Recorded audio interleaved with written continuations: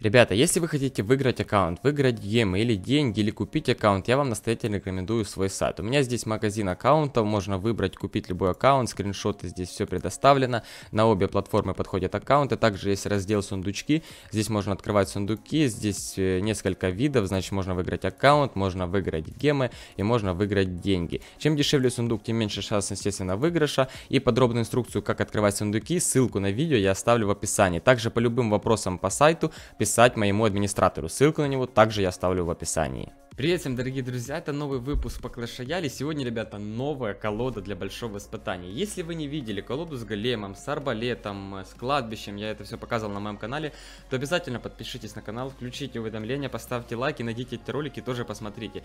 На моем канале много разных колод для больших испытаний, для разных арен, поэтому если вы еще не подписаны, обязательно подпишитесь. И сегодня, ребят, испытание снова пройдено 12.0 и очередная новая, но только в этот раз очень топовая колода. Влад, с нами, кстати, сейчас в, в скайпе Кот Наркот, поздоровайся с зрителями. Всем здорово.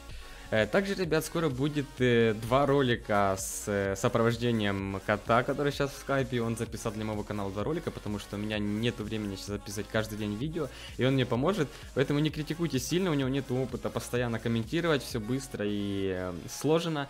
Он там заснял, я не, он реально... Э, сделал ошибку, заснял свою колоду, хорошую, которую я просил показать, новую, заснял на 3300 кубках.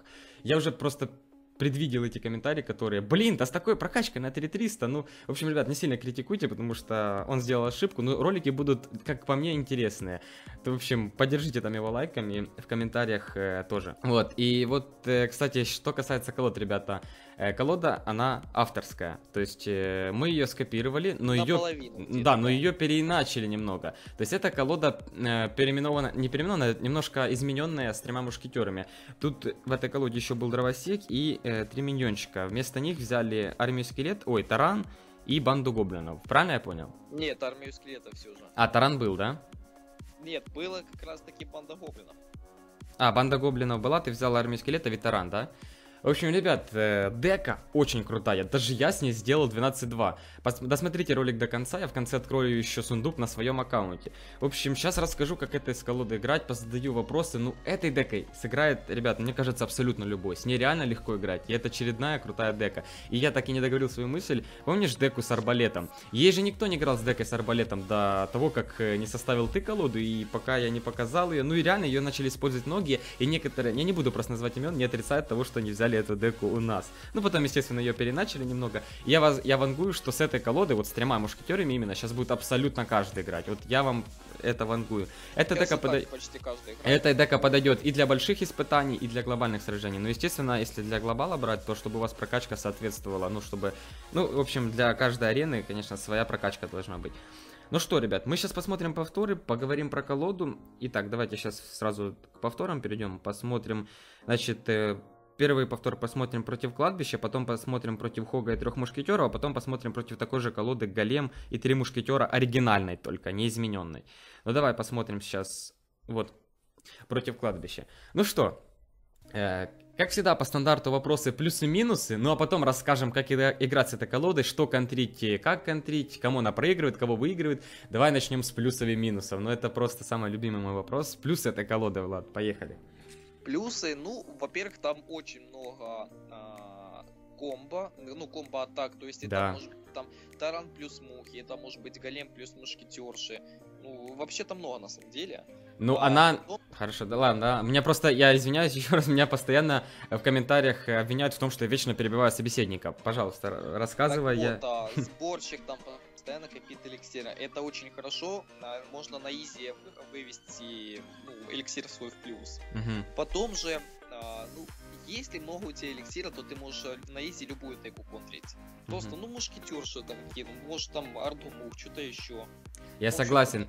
Смотрите, еще такая тема в этой колоде, что э, иногда даже просто нужно пропускать урон и не волноваться. Я вот просто, я играю этой тоже колодой, вот вчера только начал, и я вам скажу честно, я потерял одну вышку, потерял полторы вышки, в конце просто трешку сделал. И это не случайность, это постоянно так. Эта колода просто камбэк нереально делает.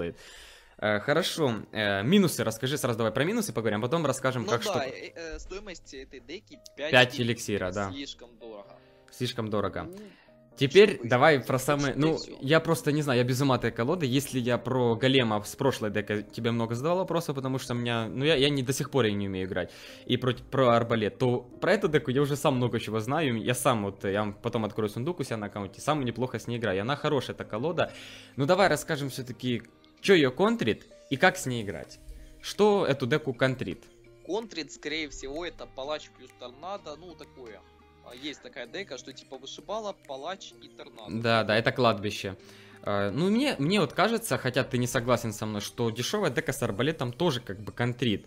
Ну, я вроде арбалет, ну, казалось бы, поставил голема, арбалет согрелся сразу на цель, да, и он не дамажит вышку. Но если у него дешевая колода, он будет прокручивать постоянно, и будет не, ну, инферно... будет, а ты таран кидаешь на арбалет, ну, потом кидаешь... Инферно.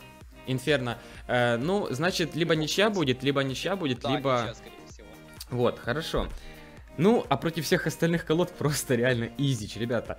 Э, Хога, бочку, э, зеркало, голем тоже бьет. Ну, адскую гончу вообще разрывает. Э, просто, раз... понимаете, сейчас адская гонча реально очень популярная такая карта, колода, и ее используют в больших испытаниях очень часто эта дека просто ее в пух и прах разносит. Ни, никакой, никакого шанса не оставляет. И настолько легко играть, и я вам еще раз повторяю, сыграет с ней абсолютно каждый, если, ну, хоть немножко, немножко соображать, ну, как играть в испытаниях.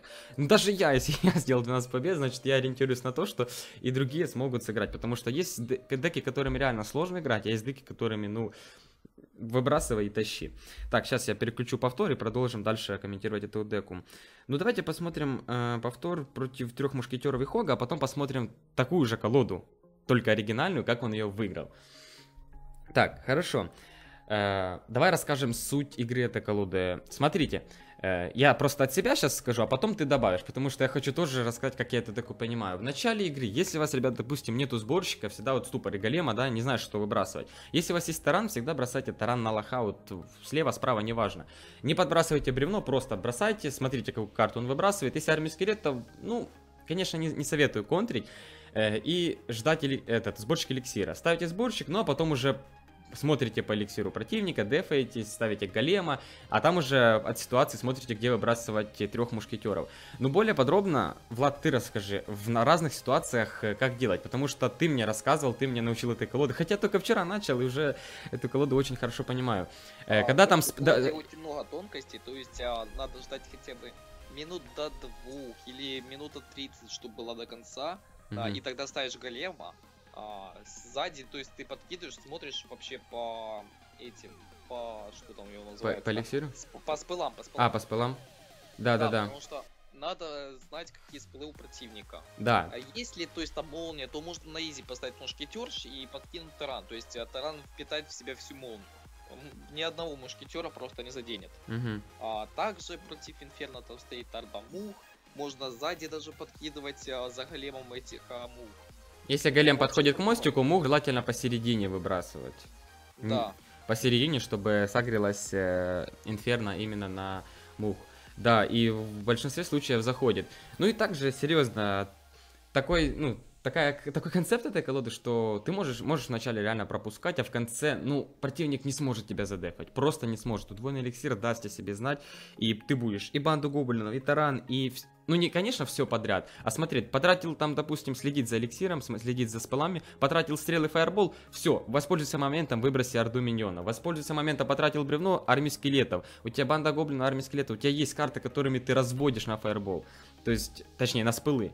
Э, тремя мушкетерами, допустим, на фаербол, да, подбрасываешь орду миньонов. Э, запили бревно на э, армию скелетов, подбрасываешь банду гоблинов. То есть, ну, блин, колода реально интересная. Вот Также еще. хочу сейчас добавить а, комбо атаки. Сейчас, секунду, я скажу. И да, последний да. повтор, ребят, это против трех мушкетеров оригинальной колоды, которая, ну, реально все скопировали, все используют. Вот ее переначал, и вот давайте смотрите, как он ее выиграет, а ты давай рассказывай, что ты хочешь сказать про этот ход. Так вот, можно собирать много комбо-атак, то есть, ну, голема вообще не затрагивай, потому что по нему можно все что угодно подкидывать, ну, кроме орды скелет, mm-hmm. понятное дело. А, так вот, самое частое я использую это таран плюс ордамух. Ну, вообще, как-то тяжело это э, законтрить. Я тоже, Потом да. Потом можно а, мушкетершев а, раскидывать на две стороны. То есть, чтобы на одну пошли две мушкетерши, на другую одна. Угу. Когда идет... А, то есть там можно чередовать. Слушай, ну я тебя перебью, но мне кажется, это все равно не та колода с мушкетерами, которая, да, шахтер, ну, э, рыцарь. Таран, а, таран и этот, и мушкетер, что ты сделаешь? Ну, сложно будет на самом деле. Ну, Тем более у тебя еще банда гоблинов есть. Знаешь, спорный вопрос, мне кажется. Эта колода именно нужно сзади бросать трех мушкетеров. Не бояться фаербола, бревна, если их убьют. Сразу подкидываешь орду миньонов. Именно, мне кажется, посыл деки именно такой. Ну, да, есть разные ситуации, не буду спорить, игра ситуативная, нужно в разных ситуациях поступать по-разному, ну, в большей части, вот, вот видите, да, сейчас противник выбросил э, за э, големом трех мушкетеров, всех трех абсолютно, а справа, смотрите, э, банду гоблинов, и то есть нужно распыляться, и трех мушкетеров контрить, и то, и голем идет, в общем, и, кстати, мне очень интересно, как же ты здесь выиграешь, потому что вначале ты пока пропустил сейчас голема, и что же ты сделаешь, сейчас посмотрим и будем дальше. Не, законтрил, законтрил, да. Хорошо, что ты... У меня был, значит, у меня был такой, э, такая игра, точнее, когда я ни разу голема не выкинул, то есть я догадывался, что у противника есть инферно, но я даже не проверял это ни разу. Просто выкидывал таран, там что-то еще, и вот так дамажил по чуть-чуть. То есть все подряд, да, выбрасывал и... Ну, почти что все подряд. Там у противника было, то есть там принцесса, бочка гоблинов, ну и так далее. Вот этот мусор. Я решил эту колоду, ребят, вам показать, потому что, ну, с ней легко играть. Ну согласись, Влад, если уровень сложности с этой игры Ой, с этой колодой, то мне кажется, он небольшой, легко с ней играть, согласись. Ну с ней, а, сог... ну, да. с ней, ребят, понимаете, я очень делаю много ошибок. Вот эта колода для меня. Я просто часто то выброшу то не там, то не, ну волнуюсь иногда, надо здесь быстро думать и все правильно выбрасывать.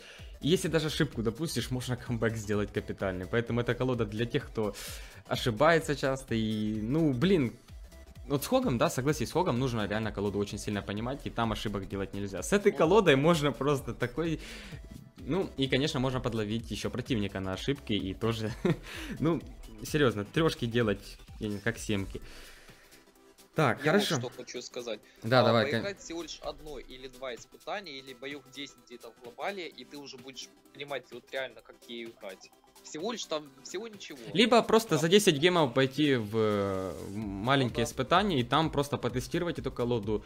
Э, ну, просто сейчас много с этой колоды, кто играет. Посмотрите даже в ТВ Рояле, там э, онлайн-атаки точнее онлайн-атаки, повторы посмотрите, там, ну, много можно найти, либо через Facebook добавляйтесь, друзья, и смотрите, когда я, я часто этой колоды буду теперь играть, ну, естественно, я вангую, что с этой колодой и вообще с тремя мушкетерами сейчас будет очень много, сейчас и так их, да, много этих дек, но буквально спустя, ну, 5 дней, недельку максимум, и все, все большие испытания, если вот буквально недавно была популярна дека Лава плюс Шар, то сейчас будет вот это. Ну серьезно, ну я не знаю, ее контрит реально только Палач, Торнадо, ну Гигант, вот эта колода контрит. Но все равно можно выигрывать, где-то подловить и выиграть.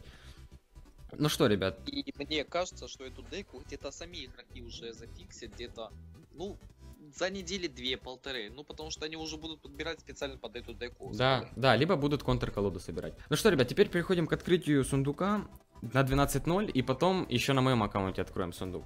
Так, что тебе, Влад, надо? Мне, да, фиг знает. По легендарным я уже все собрал, то есть у меня уже две четвертые. Но мы не будем спойлерить, не будем спойлерить, что будет за видео, поэтому ну, давай. Дело. Давай, ладно, открываем сундук, буду комментировать. Голема, 20... голема. Голема, хорошо. Штук. Так, гигант падает, сборщик падает, башня бомбежка падает, гоблин с дротиками, королевский гигант, стрелы. Что за фигня? Пека.